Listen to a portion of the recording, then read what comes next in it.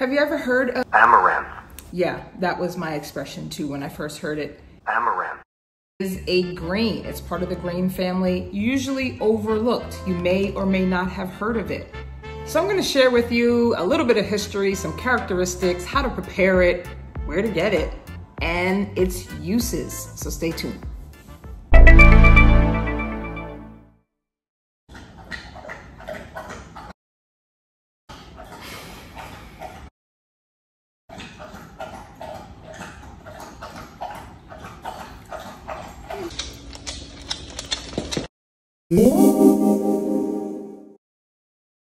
So we generally understand that it's recommended to include whole grains into our eating plan, that there's benefits to it. There's a video that you can access at the end of this one that talks more about the benefits of whole grains more in detail.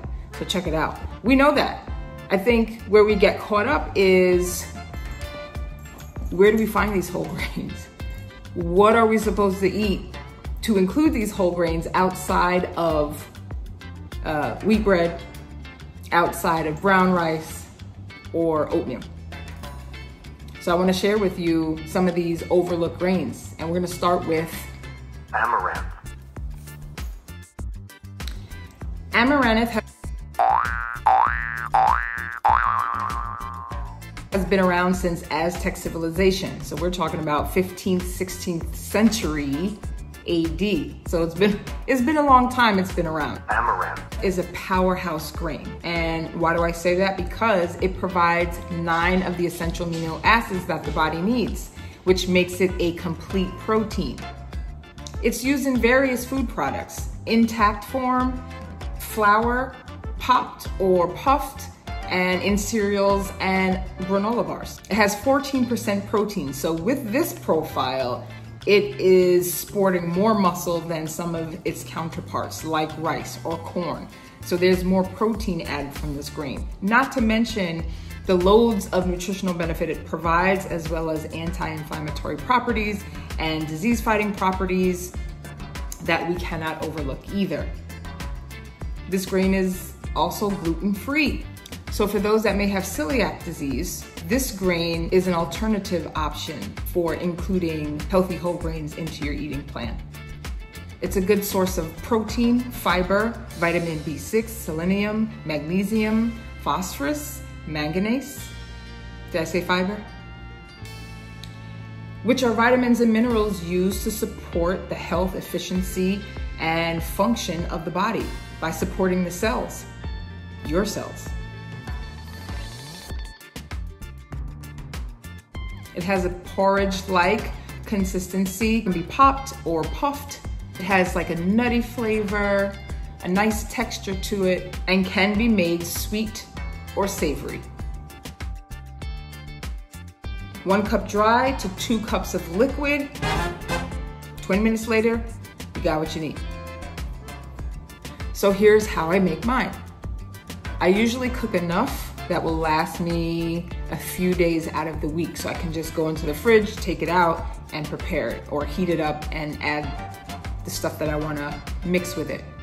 I generally use brown sugar or maple syrup,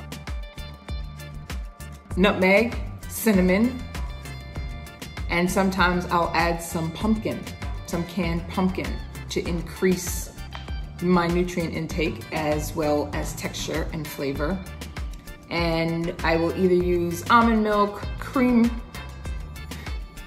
cream, almond milk, cream, or milk. But again, you have alternatives. You can use whatever it is that you like, generally speaking, when it comes to liquid and mixing these types of foods. You can find Amaranth at Kroger's. So I'm here in the South, so it would be Kroger's, your local farmer's market. If you're used to Atlanta area, the DeKalb Farmer's Market has a great variety of grains there. Whole Foods, Amazon, of course. Nuts.com is another option, as well as Trader Joe's, which has some mixture of grains, which includes amaranth. Publix, even if you're up north, ShopRite, Walmart, Target, they have products that have amaranth mixed in, so your cereals or your granola bars. which I can show you some examples.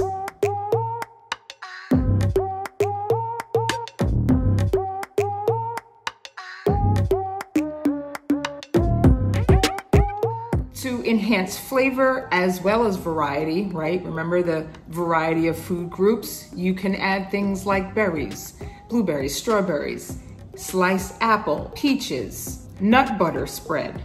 So whether it be peanut butter, almond butter, cashew butter, sunflower butter, whatever it is that you choose, you can add that in.